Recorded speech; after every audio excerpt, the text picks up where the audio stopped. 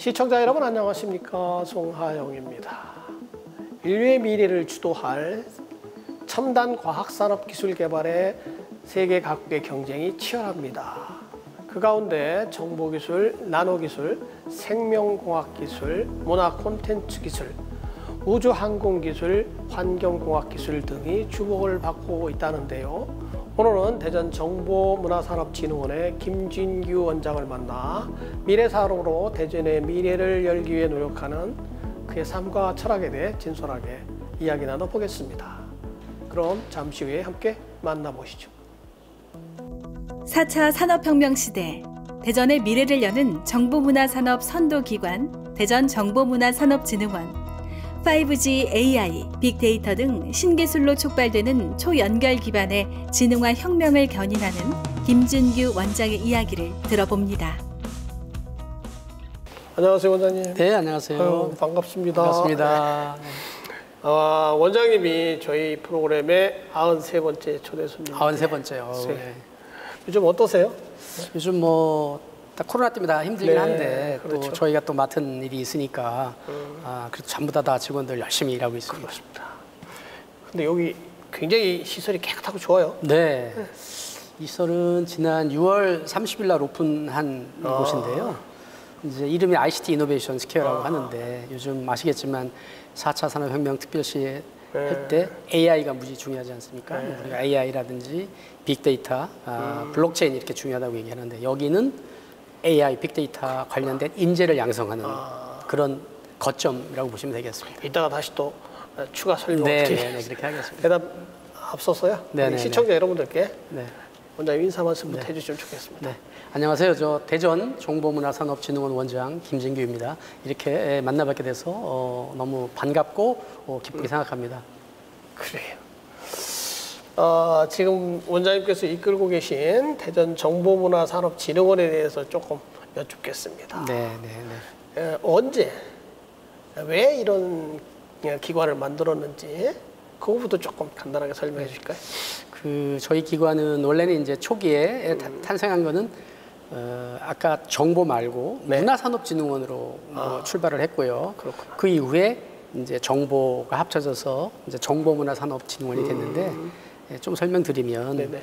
그 정보라고 하는 것은 저희가 이제 IT라고 얘기를 많이 하죠. 네. IT 소프트웨어 쪽 분야를 얘기를 하고 어, 문화라고 하면 저희가 아마 한류라는 말이 더 익숙할 텐데 게임이라든지 웹툰이라든지 이런 콘텐츠 산업을라고 이해하시면 되겠습니다. 그래서 어, IT와 콘텐츠 산업을 진흥하는 기관이다 이렇게 예, 이해를 해주시면 될 것 같습니다. 그렇구나. 요즘 젊은 사람들이 굉장히 관심이 많은 분야네요. 그렇죠. 네. 어, 바로 미래, 미래를 이끌어갈 산업 분야이기도 하고 젊은이들이 가장 네. 관심 있어 하고 어, 인기가 있는 곳이다 이렇게 뭐 말씀드릴 수 있을 것 같습니다. 원래 근데 고향은 대전 아니시죠? 네, 제가 뭐 고향은 대전은 아닌데 네. 가까이에 있는 제가 영동에서 태어났고요. 또 옥천에서 제가 초등학교 5학년까지 아. 음, 생활을 했습니다. 그래도 그래서 뭐 마음적으로는 고향입니다. 여기. 네. 근데 여기 어, 원장님 2년 전쯤에 원장님 되셔가지고 이제 2년쯤 되나요? 네, 네, 네, 2년 어, 됐습니다. 그때 이제 대전 중구 목동의 시민이 되셨다 그런 말씀 들었어요. 네, 지금 그래요. 중국 목동 시민입니다. 서울 생활하고 대전 생활이 어때요? 대전이 제가 이제 종종 얘기를 하는데 네. 정말 살기 좋은 곳이다. 그 중에 저희가 이제 대표적으로 얘기하고 싶은 거는 대전이 녹색 도시더라고요. 차 타고 지나다니면 항상 녹색 산이 보이고 주위에 뭐 잘 아시지만 산이 많지 않습니까? 뭐 보문산부터 시작해서 장태산, 뭐 개족산 이렇게 도시야 근 도시를 둘러싸고 있는 산도 많고 네. 다니면 녹색이 많이 보이고 와 여기 정말 녹색 도시다. 그렇구나. 녹색 도시 요즘 뭐 환경 많이 얘기를 하는데 좀 최고의 도시 같습니다. 복잡하지도 않고. 그래요. 원래 임기가 3년인가요? 네네 3년입니다. 또 연임할 수도 있겠고. 아니죠 그거는 뭐, 뭐 나중 얘기고요. 잘 모르고요. 네 지금 이제 열심히 일하는 것만. 2년 되는데 어, 처음에 오셔서 제일 먼저 아 이게 중요하구나 해서 하신 일 그리고 네. 뭐 아, 그동안의 성과를 간략하게 좀 저는 이제 뭐 어느 조직이나 제일 중요한 게 이 조직이 어떤 정신과 철학을 갖고 있느냐가 제일 중요하다고 생각을 합니다. 그래서 조직원들이 그 철학을 공유하고 어, 특히 이제 뭐 비전이라고 얘기할 수도 있지만 한 곳을 바라보게 하는 뭐 우리가 이제 보통 뭐 조직의 혁신, 경영 혁신 이렇게 얘기를 하는데 그 부분이 가장 중요하다고 생각해서 제가 이제 그 조직의 혁신 쪽에 관련해서 정신과 철학을 좀 set up하는 저희가 이제 DICIA Way라 이렇게 표현을 하는데 DICIA라는 거는 저희 기관의 영문명입니다. 예, 그게 이제 DICIA Way에서 뭐 D 같은 경우는 dream 대표적으로 말씀드리면 D가 원래 이제 대전의 뜻이지만 저는 이제 dream이다 이렇게 표현을 해서 정말 꿈꾸는 조직 이게 됐으면 좋겠다. 그럼 그, 그 꿈이 뭐냐? 제가 만든 슬로건은 더 퓨처 리더입니다. 미래를 선도해야 된다. 그래서 우리 진흥원이 미래를 선도하는 기관이 돼야 된다 라고 하는 그런 슬로건을 만들어서 미래를 선도하려면 어떻게 되냐? 특히 뭐 과학의 도시고 4차 산업혁명 특별시인데 관련된 산업 같은 것들을 저희가 선도적으로 또 중추적으로 어, 추진해야 된다. 그래서 어, 뭐 TF팀을 구성을 한다든지 AI 빅데이터 팀이라든지 스마트 시티 관련된 팀들을 새롭게 에, 재정비하고 또 관련해서 저희가 이제 국비 사업을 사실 이제 많이 유치를 해서 어, 지역에 일자리도 만들고 어, 경제 발전을 지원해야 되는데 20년도에 한 여섯 개 과제 상 금년에 세 개 과제에서 총 아홉 개 과제 국비 사업을 따서요. 약 800억 원 정도의 총 사업비를 저희가 확보를 했습니다. 그래서 어, 저희가 이제 국비 사업을 통해서 그걸로 기업도 지원하고 또 인재도 양성하고 또 창업도 지원하고 그런 활동을 좀 하기 때문에 예, 직원들이 요즘 정말 뭐 미래를 선도하겠다 해서 눈이 반짝반짝 빛납니다 요즘은. 네 그래서 제가 칭찬도 많이 하는데 예, 그렇게 해서 국비 사업도 따고 관련된 기업들도 지원해주고 하는 그런 활동을 많이 하고 있습니다.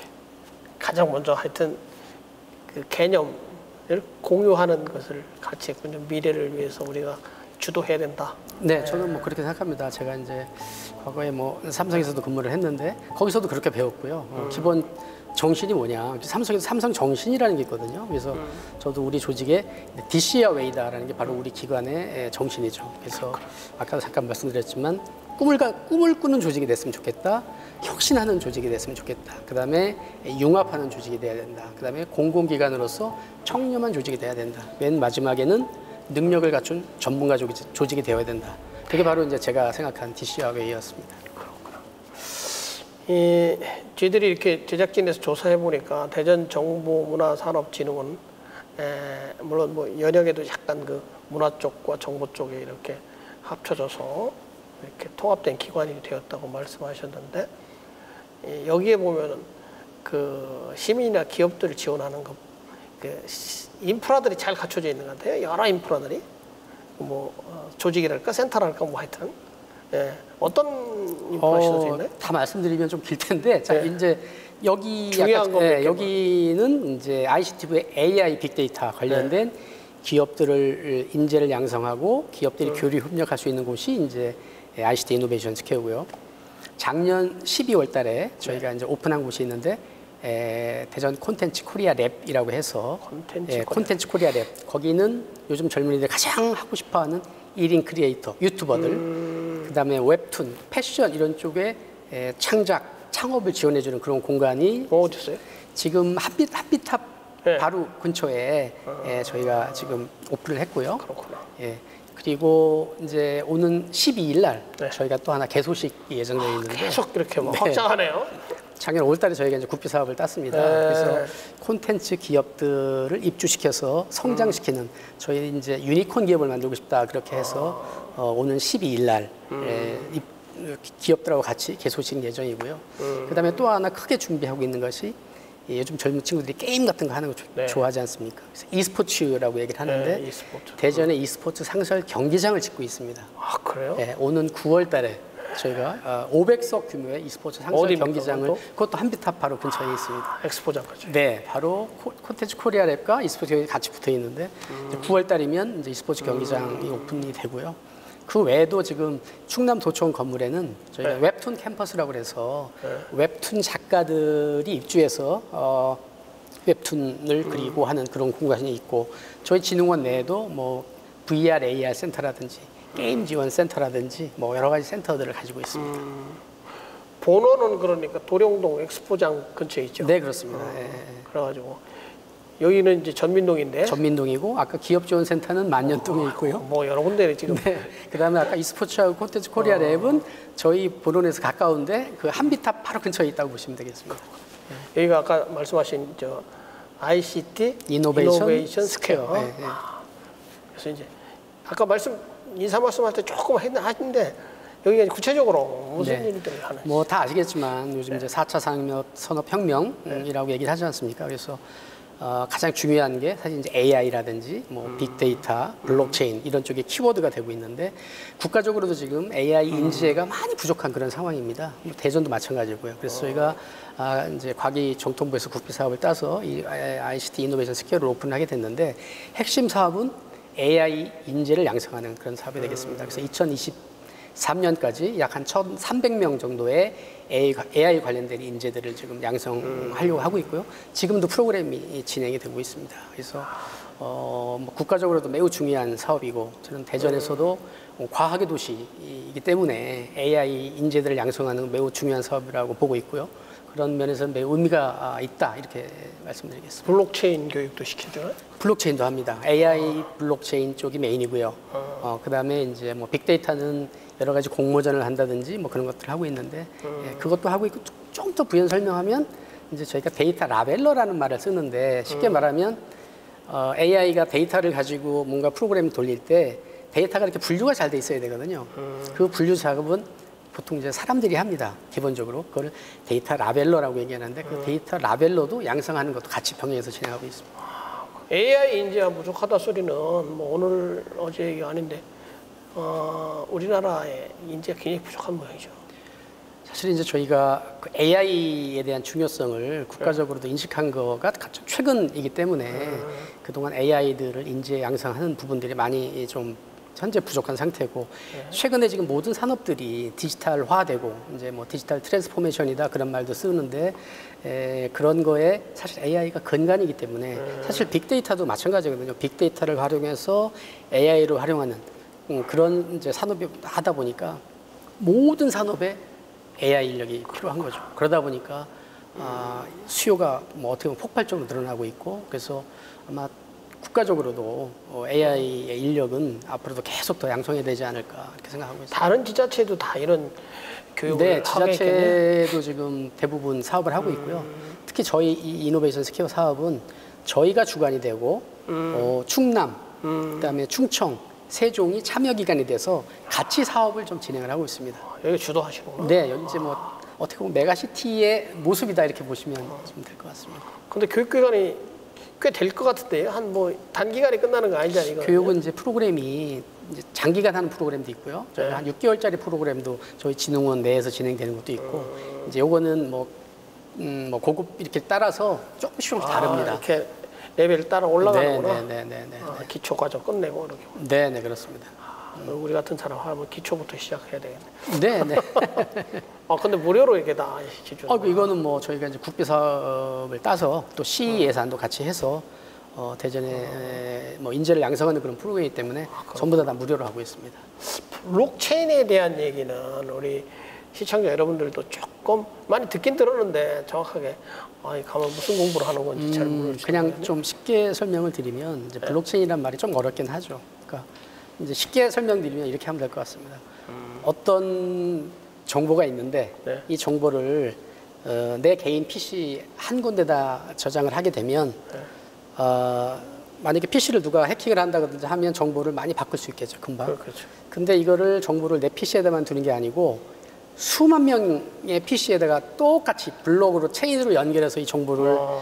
예, 저장을 해놓는다면 함부로 정보를 바꾸기가 상당히 어렵겠죠. 그렇구나. 그러니까 쉽게 그런 개념입니다. 그러다 보니 저희가 아, 정보 보호가 매우 중요하고 그런 관점에서 블록체인이라는 개념이 이 최근에 이제 화두가 되고 있고 앞으로는 뭐 저작권 보호도 그렇고 여러 가지 정보를 보호한다는 측면에서 어, 새로운 트렌드, 새로운 기술인데요. 많이 활용되지 않을까 이렇게 생각하고 있습니다.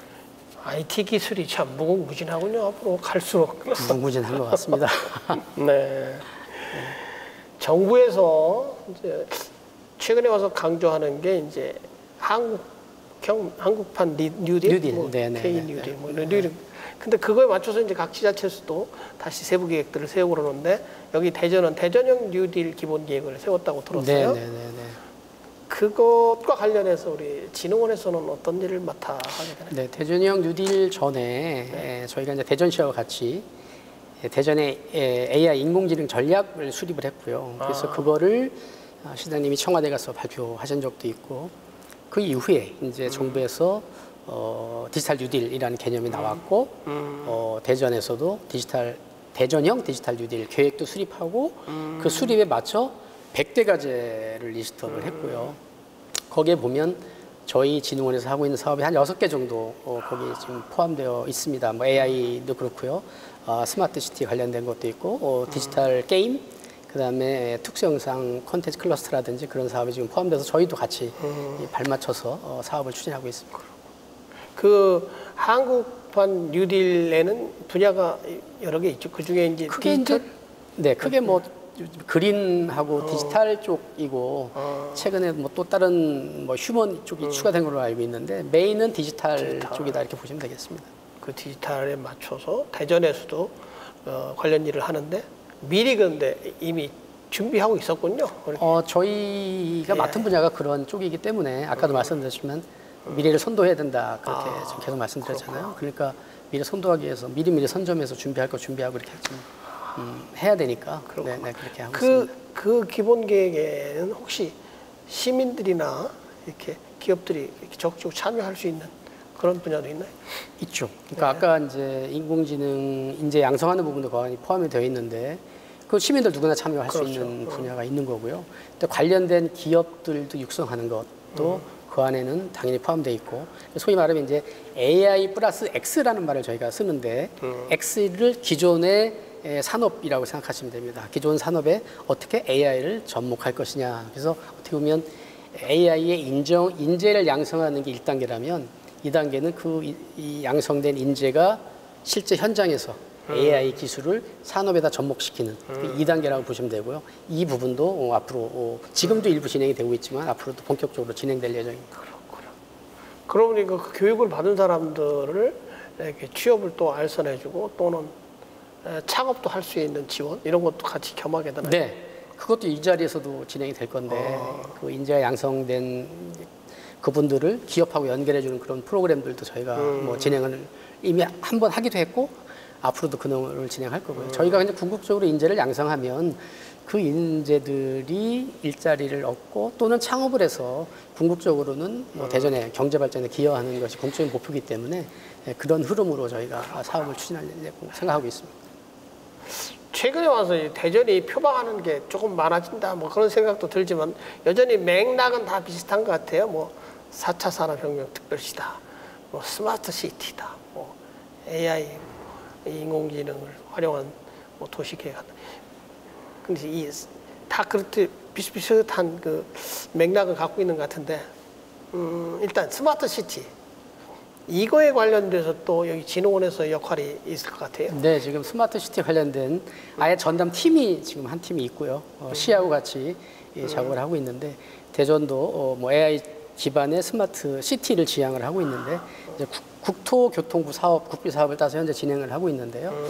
간단하게만 설명을 드리면 어, 그 중에 이제 뭐 세네 개가 동시에 진행이 되고 있는데 예를 들면 거기에 뭐가 있냐면 저희가 이제 화재가 났을 때 네, 에, 신고가 들어오면 소방차가 달려가는데 그렇죠. 화재가 어떤 상태인지 모르고 대부분 가죠.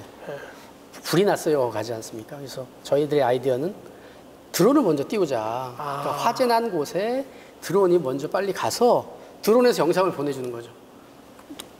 화재 현황을 동영상으로 보면서 출동하는 그런 아이디어고요. 지금 세계 119 그 포인트에 지금 설치를 해서 어, 테스트를 하고 있고 어, 소방차하고도 연결이 되겠네. 소방차하고 연결돼야죠. 그래서 지금 13개, 대전에 13개 정도 129 포인트가 있다고 하는데 거기도 다 아, 설치할 예정이고 이게 잘 되면 아마 전국으로 확산되지 않을까 생각하고 있고요. 그렇구나. 네.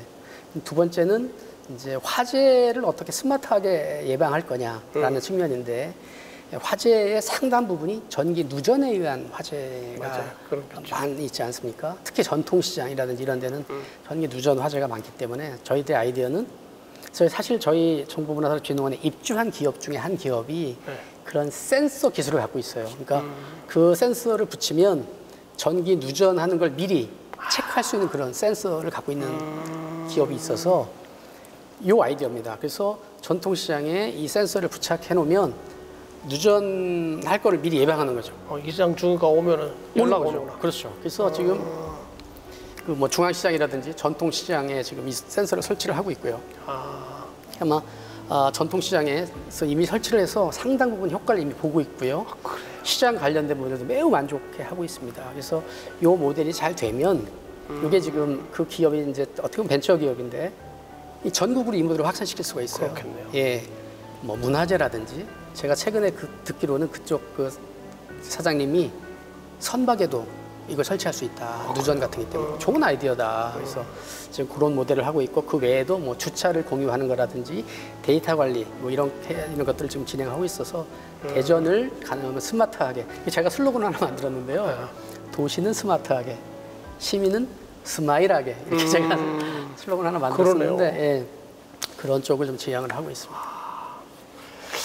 그래서 그런 모양이구나. 이 대전시 산하에 이 산하 기관들이 굉장히 출연한 기관들이 많은 것 같은데 네, 네, 네, 네. 그 기관 평가에서 어, 1등을 하셨다 이런 들었어요. 아, 예. 지금 원장님 말씀하시는 거 보니까 그럴 것 같다는 생각인데 특별히 어떤 점이 이렇게 좀 부각돼서 어, 평, 평가에서 음, 저희가 1등을 이제 어떻게 보면 처음으로 사실 1등을 했는데 네.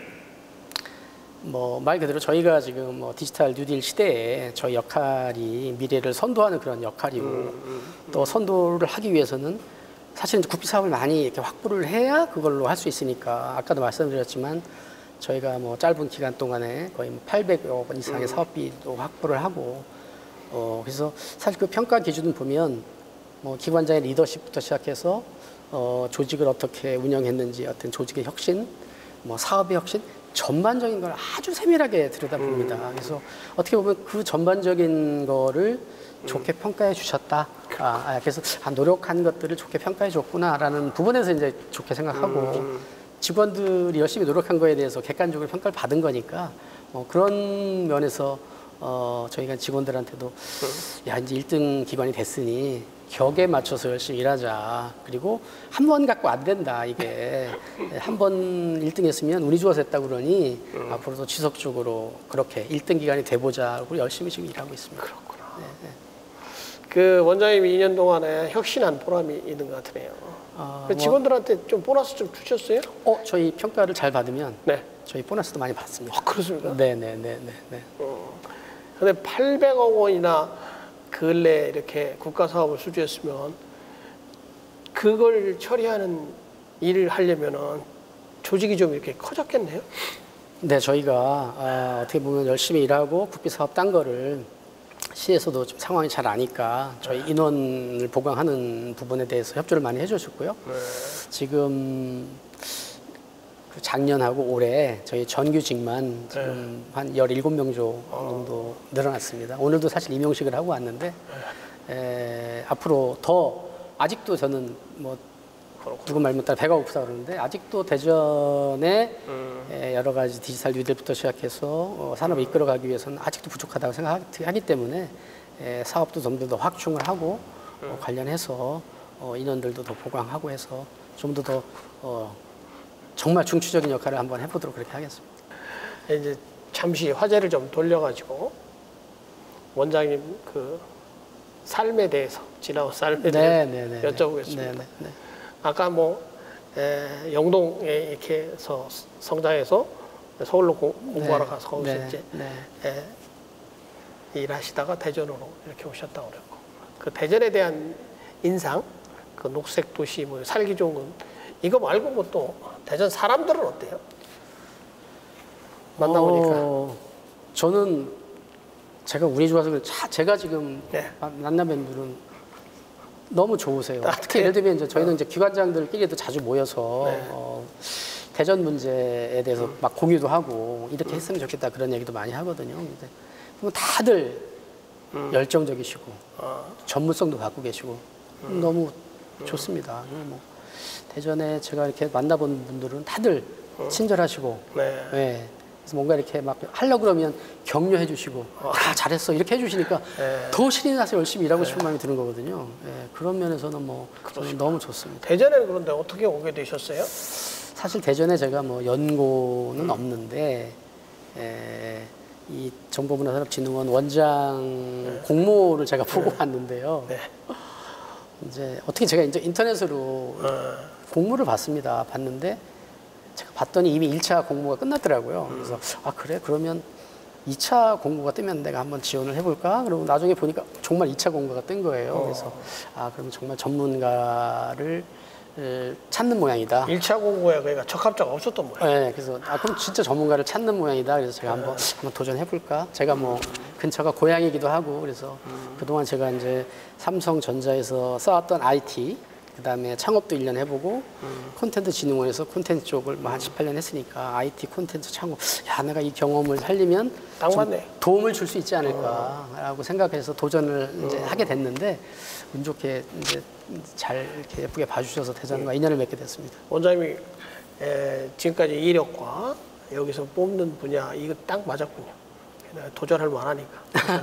그 저희들이 그 제작진에서 이렇게 살펴본 거 보니까 아까 잠깐도 말씀하시긴 하셨지만 삼성전자 대기업의 미디어 콘텐츠 센터 전략기획그룹장을 네. 하시고 한국 콘텐츠 진흥원 이건 공공기관이 국가기관이죠. 네네네 문화체육관광부 산하기관입니다. 거기서는 뭐 엄청나게 일을 많이 하셨어요. 뭐 전략 콘텐츠 본부, 산업정책본부, 게임 차세대 콘텐츠 사업본부, 문화사업기술본부. 아, 근데 이런 이런 일에 종사하려면 어떤 전공을 해야 되나요? 그 대학에서 어떤 공부? 아 저는 이제 원래 학부는 전자공학을 아, 했고요. 전자공학. 네, 전자공학해서 삼성전자에 이제 입사를 해서 연구원으로 출발해서 이제 뭐 전략기획부서에도 있었고 뭐 어, 그다음에 이제 뭐 미디어 콘텐츠 센터라고 해서 삼성의 미래산업의 수소프트웨어 콘텐츠 하는 쪽에 제가 또 어, 이제 그 업무도 했었고요. 네.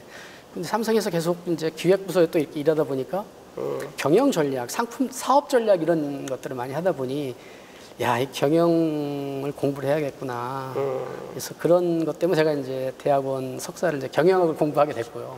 전자공학, 공학하고 경영하고. 네, 야. 공부 저는 뭐 필요해서 꼭 했습니다. 꼭.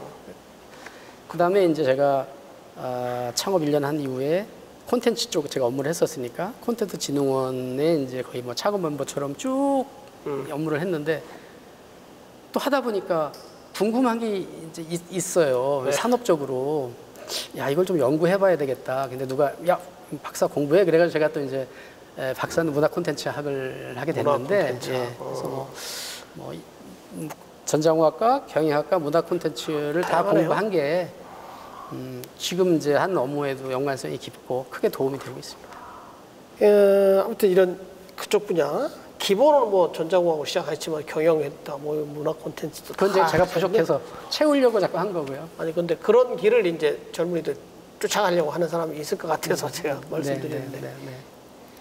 대전은 어때요? 이제 한 2년여 제법 이렇게 많이 사셨는데 잠재력이 좀 있나요 이쪽 분야? 대전이야말로 네. 과학도시이지 않습니까? 그렇죠. 사실 우리가 말하는 4차 산업혁명 특별시, 그 다음에 뭐 디지털 뉴딜, 근데 어떻게 또 다른 면으로 보면 그게 바로 과학이거든요. 포괄적인 거죠, 과학이라는 것은. 그렇다면 다른 도시 비해서 이미 어느 정도 갖춘 도시가 아니냐, 여기는. 그렇게 말씀드리고 싶고, 아시겠지만 대전에는 뭐 26개 출연 기관이 있고, 대덕 특구에만 거의 2천여 개의 소프트웨어 또 기업들이 있습니다. 엄청난 거죠. 여기는 약간 특화돼서 모여 있는 그런 거고 출연 연구기관 카이스트부터 시작해서 충남 대학도 많고요. 바깥에서 보면 이렇게 에, 정말 인재들이 모여 있는 곳이거든요. 이제 이거를 어떻게 잘 연결할 거냐.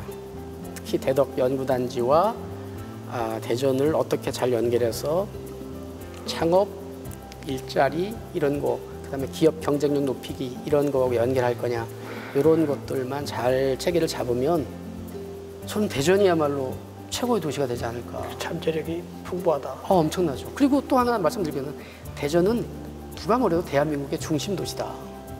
그렇죠. 중심입니다 여기가. 항구 도시도 가까이 있고. 아 그럼요. 대전에서 다 이렇게 할 수 있잖아요. 그럼 물류라는 키워드를 보면 최고의 도시인 거죠.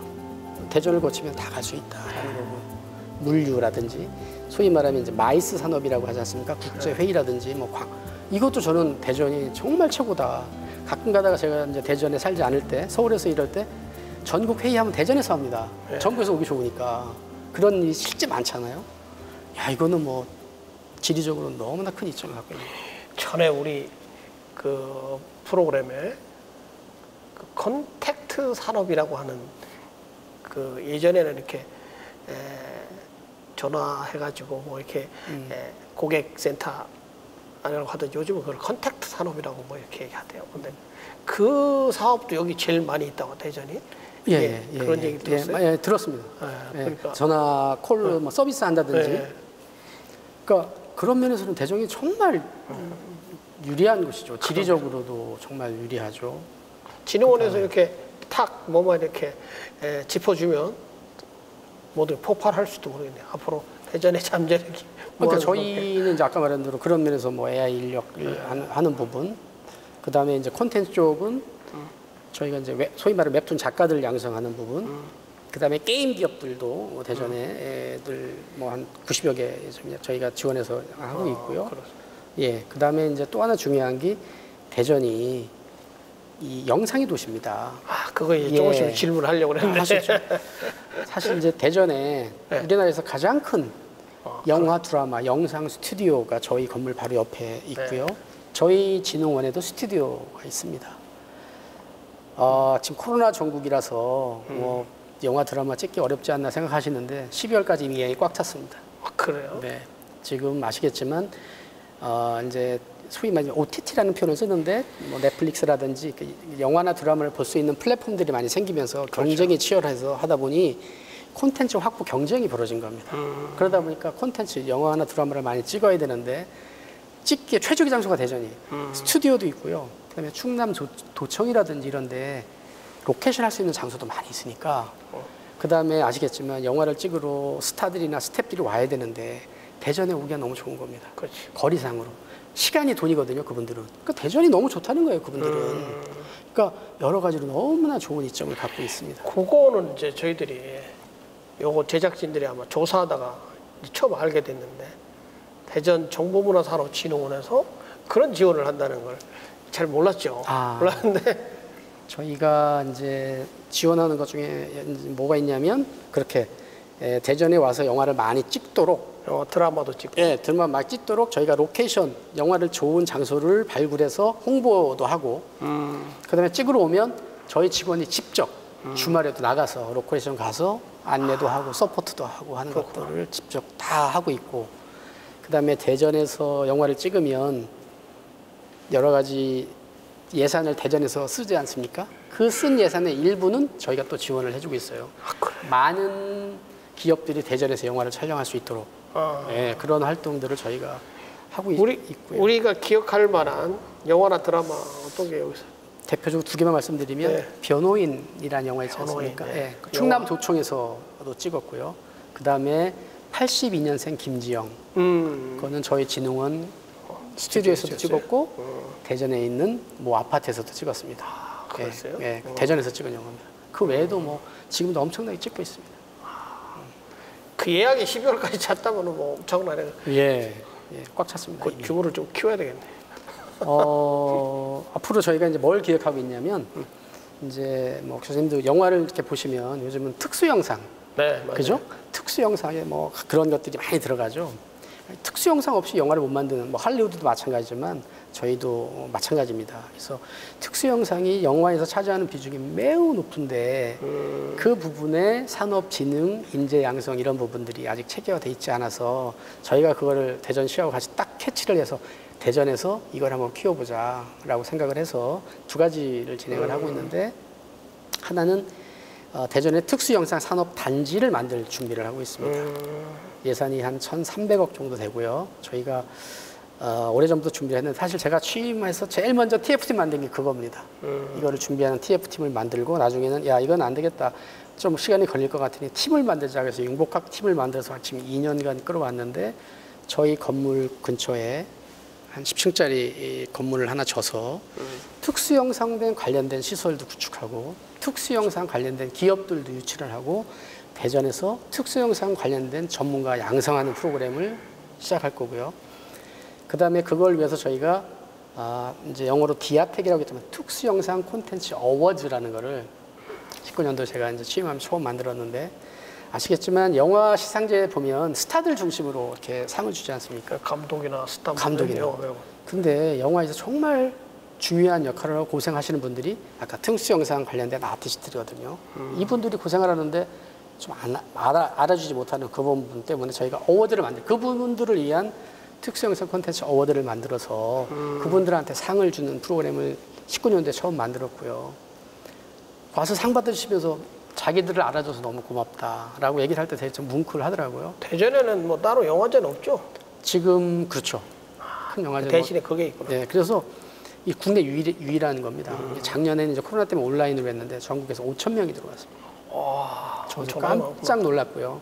올해도 이제 3회째 진행이 될 텐데 저희 꿈이 뭐냐면 특수영상 산업단지가 되고 특수영상의 메카가 되고 그 특수영상 공모전을 매년 치르면 1단계로 전국에 있는 특수영상 관련자들이 매년 대전에 한 번 온다.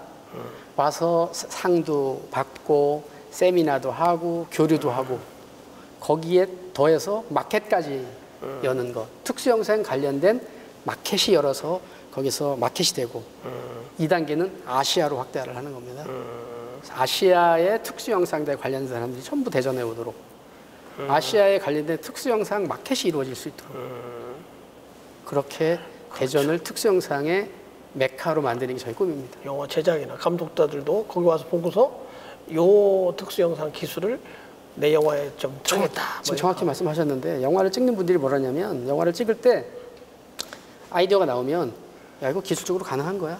이걸 아름아름 물어본다는 거예요. 글쎄요. 어디 체계적으로 물어볼 데가 없으니까. 그게 저희 꿈이 그거예요. 이제 저희가 art lab이라고 그랬는데 대전 와서 거기 가서 물어봐. 대전 정보문화산업진흥원 거기 가서 물어보면 모든 정보가 다 있어. 관련된 정보가 다 모이니까 어떤 기업들이 어떤 기술을 갖고 있는지 하는 것들이 다 모여 있고 부족한 기술들은 또 R&D도 할 거고 인력 양성도 할 거니 이 거기 가면 다 해결돼 하는 것들을 저희가 지금 만들려고 하고요. 실제 영화에 관련된 분들도 이게 꼭 필요하다라고 해서 적극적으로 좀 지원을 해주고 계십니다. 영화라는 것이 사실 이렇게 촬영으로만 되는 게 아니고 보면은 이 컴퓨터로 그, 그리기도 하고 뭐 특수하게 상당 부분 그렇습니다. 많이 만드는 거죠. 상당 부분. 예를 들면 뭐 저희가 명란 같은데 영화 보시면 이순 장군 28척 막 배 싸우는 거 나오잖아요. 그걸 다 어떻게 배를 만들겠어? 그렇죠. 실제 한두 척이 실제 배고 나머지는 다 컴퓨터 그래픽으로 만든 거거든요. 예. 예, 그러니까 요즘은 컴퓨터 기술 없이는 영화를 만들 수 없는 그런 거예요. 예, 그런 시대가 됐죠. 즉, 그 특수 영상 기술 그것도 결국 뭐 그 IT 기술인 것 같은데 아, 그렇죠. 예. 그런 교육도 여기서 하나요? 저희가 하려고요. 아, 음. 그래서 지금도 아까도 말씀드렸지만 스튜디오 예약이 꽉 찼다고 그랬잖아요. 그러니까 그 정도로 수요가 폭발하고 있는데 이 영상도 수요가 엄청나게 많다고 그럽니다. 실제 그 기업인들이. 근데 그 수요를 충족해 줄 만한 일- 인재가 부족하다는 거예요. 그래. 예. 그래서 인재 양성을 해줘라. 빨리 진흥원에서 그거 만들어서 음, 빨리 해야 됩니다. 저희. 대전 정보문화산업진흥원이 할 일이 무궁무진하네요. 어, 해야죠. 계속 늘어나겠습니다. 아유 뭐, 뭐 해야죠. 그래서 영상 쪽도 어, 빨리 아까도 말씀드린 그런 꿈을 실현하기 위해서 예, 저희 열심히 지금 하고 있습니다. 아까 말씀하신 게 Visual Art Tech Awards Visual Art Tech 이게 Awards. 3회째 올해 네, 올해 3회째입니다. 어, 언제 올해는요? 올해 이제 10월 달에 일반 그 시민들은 큰 관심이 없겠네요. 영화 배우나 유명한 감독들이 안 오니까. 아, 이제 일반 시민들은 특수 영상을 체험할 수 있도록 하는 프로그램을 저희가 이제 기획을 했었는데 작년 같은 데도 코로나 때문에 어. 온라인으로 하다 보니 이제 올해도 지금 어떻게 될지 모르겠는데 사실 특수 영상 하는 그런 모습들을 실제 보면 시민이 되게 재밌어 할 수 있고요. 그다음에 그때 관련된 공부하는 학생들도 많이 있습니다. 특수 영상 관련해서. 그래서 어, 아까도 말씀드렸지만 온라인으로 5천 명이 들어왔다는 거는 관심이 엄청나게 많거든요. 글쎄요. 예. 이게 우리가 아주 어, 실감 있게 또는 뭐 자연스럽게 본 영화인데 실제 보니까 그런 특수 영상이었다. 뭐 이런 조금 기분이 낮아질지도 그럴 수도 모르겠지만 있습니다. 그렇지만 네, 그럴 수도 있는데 또 한편으로는 어 저런 거였어? 네, 그 기술- 깜짝 같네. 그럴 수도 있는 거죠. 아, 일반 시민들도 이제 그 축제 기간에 보면은 그런 걸 우리가 알 수 있겠구나. 네, 네. 그래서 뭐 관련된 기술 세미나 같은 것도 저희가 진행할 예정이고요. 그래요. 이게 이제 아시아 뭐 이렇게 너, 뭐 사실 헐리우드 영화도 뭐 한국 사람들이 많이 그런 특수 영상 지원한다는 얘기 들었어요. 맞습니다. 특수영상 관련된 거는 그 실제 뭐 디즈니나 이런 쪽에 활동하시는 한국 분들이 많이 계시고요. 활동했다가 한국으로 들어와 오- 오신 분도 많이 계시고 저희가 세미나 그런 거 할 때 그분들 모셔서 미국에서 생활했던 경험 같은 것들도 들려주고 이렇게 하고 있거든요. 그래서 원래 한국 분들이 이 손재주가 좋아서 잘합니다. 잘해요. 그러니까 앞으로 저는 뭐 이 저희가 원래 이게 뭐 젓가락 문화라고 얘기를 하지만 저희들이 게임도 잘하고 뭐 이렇게 손으로 하는 걸 잘하지 않습니까? 그러니까 앞으로 저는 뭐 사실 대한민국 분들이 뭐 두뇌도 뛰어나고 부지런하고 손기술 좋고 앞으로는 대한민국 시대가 저는 온다. 미래가 막 아, 저는 그렇게 생각하고 있습니다. 그또 그 어, 미래 산업을 주도하는 데가 대전이 되면 더 좋겠네요. 네, 뭐 그렇게 됐으면 하는 게 저희 꿈입니다. 그렇습니다. 원장님 말씀 듣다 보니까 대전 정보문화산업진흥원이 정말 많은 일들을 주도적으로 이렇게 하고 계신데 그 중에 예, 원장님이 사명감을 갖고서 이제 가장 중요하게 생각하는 일을 꼽으라면 어떤 건가요? 사실 하나를 꼽기가 좀 어렵긴 한데 그 이제 ICT 분야는 아까도 말씀드린 시민 체감형 그다음에 디지털 선도 도시 대전을 만드는 쪽에 정말 포인트를 둬서 어, 하고 싶은 분야가 있고요. 그다음에 저희가 이제 9월 달 되면 e스포츠 경기장도 이 중국권에 유일합니다. 500석 규모의 e스포츠 게임 경기장을 만드는데 에, e스포츠 관련된 뭐 인재 양성부터 시작해서 어, 좀 대표 산업으로 어, 좀 육성을 해보고 싶습니다. 결국은 대전이 다른 도시하고 다르게 대전만 갖출 수 있는 어떻게 보면 그 틈새 시작도 될 수 있는 특수 영상 같은 거는 그런 대전을 대전의 발전과 산업의 에, 발전을 위해서 핵심적인 역할을 하는 것 그리고 대전을 풍요롭게 만드는데 에, 기여하시겠다 이렇게 제가 요약해서 네, 네, 네, 네. 사명감으로 갖고 계신 게 아닌가 네, 그런 네, 생각이 네, 드네요. 네. 그렇습니다. 아, 코로나 19 때문에 사실 모든 기관들이 힘들어요. 그렇습니다. 여기도 마찬가지일 텐데.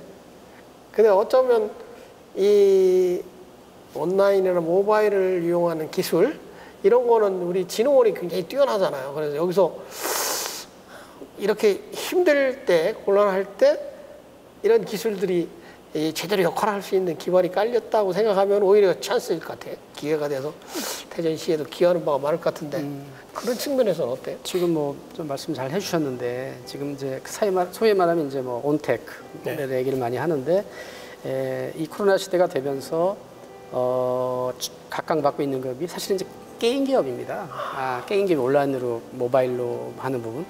또 하나가 사실 웹툰입니다. 웹툰은 다 휴대폰으로 보기 때문에 그래서 산업적으로 보면 게임, 웹툰 이런 분야가 어, 엄청나게 어떻게 보면 각광을 받고 있고 또 하나가 사실은 아까 영상을 말씀드렸는데 바깥에 외출을 많이 못하니까 집에서 영상을 많이 봅니다. 영상을.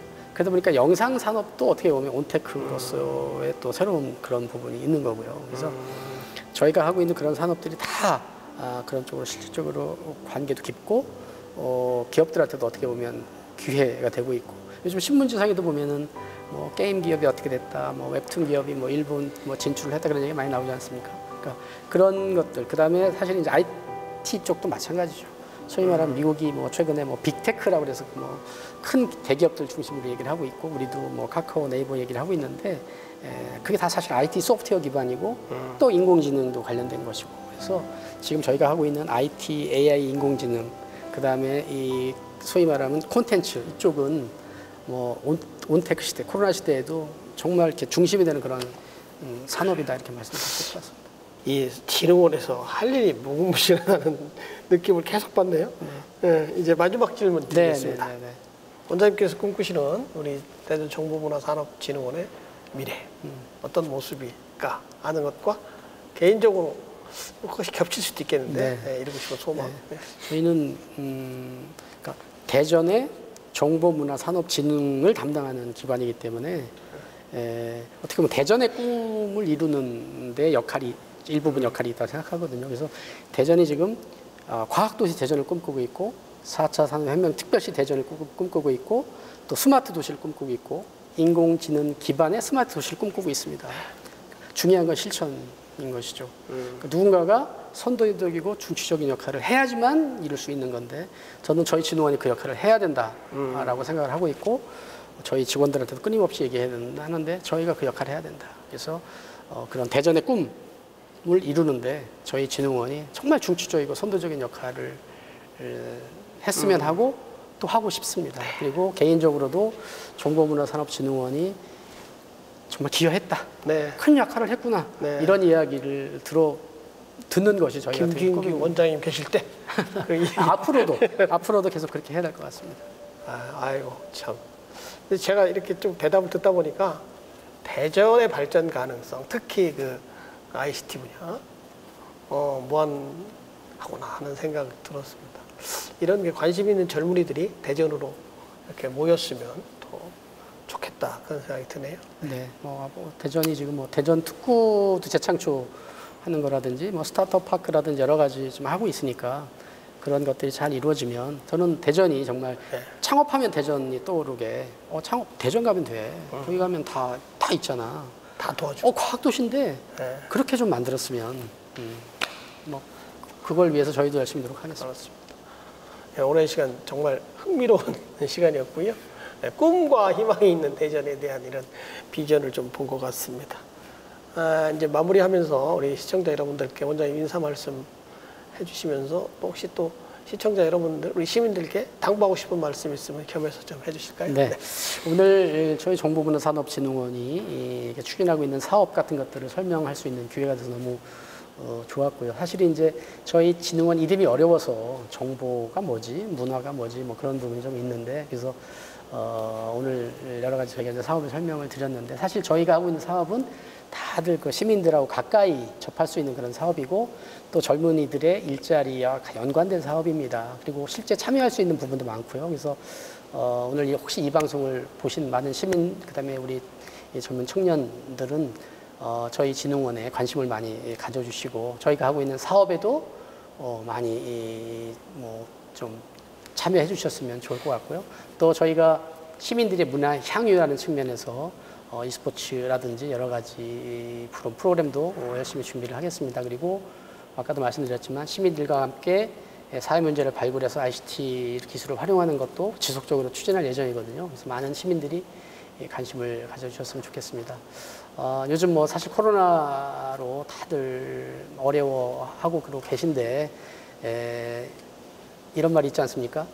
이 또한 지나가리라라는 말이 있는데 그 말을 새기면서 힘들지만 분명히 지나갈 거다 이렇게 생각이 듭니다. 같이 힘합쳐서 코로나를 이겨내고 우리 이 대전이 대한민국의 중심이 되고 어, 선도도시가 되는 음, 그날을 기약을 하면서 같이 화이팅했으면 좋겠습니다. 고맙습니다. 네, 아유, 원장님 정말 어, 힘이 납니다. 오늘 어, 이 사실 우리 대전이 4차 산업혁명 특별시 이걸 표방하고 있고 또 우리나라의 미래 먹거리를 또 이렇게 주도해야 될 그런 도시라고 생각되는데 그 일에 우리 대전 정보문화산업진흥원이 계속 이 첨단 예, 과학산업 기술을 개발해내고 또 어, 새로운 이정표를 계속 세워가시는 걸 보니까 정말 놀랍습니다.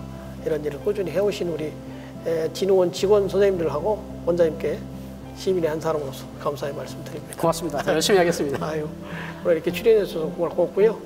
에, 앞으로 저희들도 원장님 하시는 일 응원하겠습니다. 늘 건강하시고 행복하시길 빌겠습니다. 감사합니다. 네, 감사합니다. 네, 송하영의 사람과 세상 오늘 대담은 여기까지입니다. 함께 해주신 시청자 여러분 대단히 감사합니다. 다음 주 이 시간에도 소중한 인연과 함께 하겠습니다.